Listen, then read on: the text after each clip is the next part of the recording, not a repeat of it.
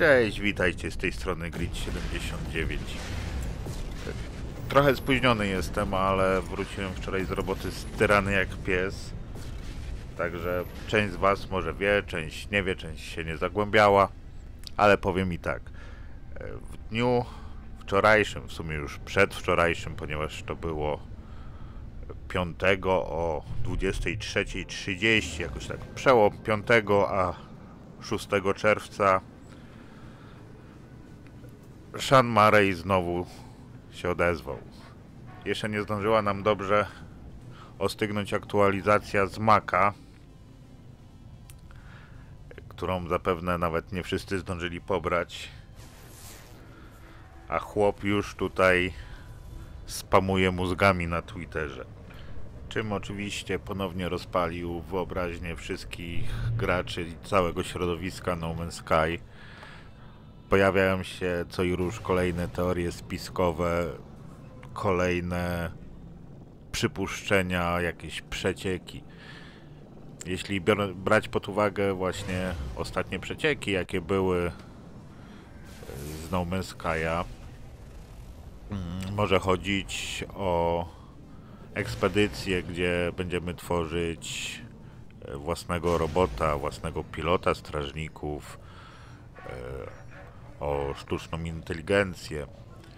Jak zapewne zauważyliście, w opuszczonych obozach są szczątki tych robotów. Jest też e, rdzeń stacji kosmicznej za terminalem rozbity. Może mieć to coś wspólnego więc i ze stacjami kosmicznymi.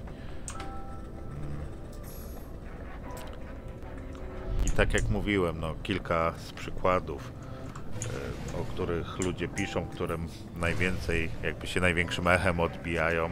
Jest to ekspedycja Tygiel czy Crucible, jak to woli. Myślę, że to już jest w miarę pewna informacja, ponieważ jest bardzo dużo e, info o tym w necie. Pytanie, co zostanie dodane? Prawdopodobnie dosyć sporo lore zostanie rozbudowany. E, być może będzie coś o mm, Void Mother, czy, czy też Matce Pustki, jak zapewne wiecie. Może nie wszyscy, może nie każdy zagłębia się w lore gry. E, po zniszczeniu Korvax Prime narodziła się e, właśnie pustka. Być może będzie to związane coś z tym. Jeżeli przetłumaczymy mm, język binarny rozbitych pilotów właśnie w opuszczonych obozach.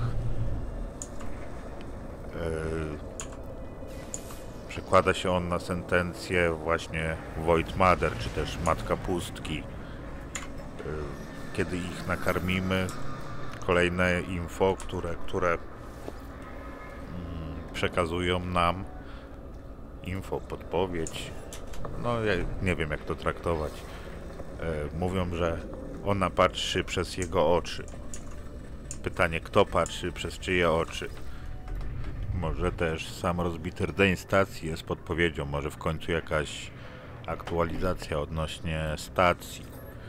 Niektórzy twierdzą, że będzie to coś związanego z organicznymi statkami, nie wiem, więcej organicznych statków, fregat, być może frachtowce, no tutaj chyba to pozostaje w sferze marzeń, aczkolwiek no, przez te wszystkie lata gra już nieraz zdążyła nas zaskoczyć, więc kto wie. Mm,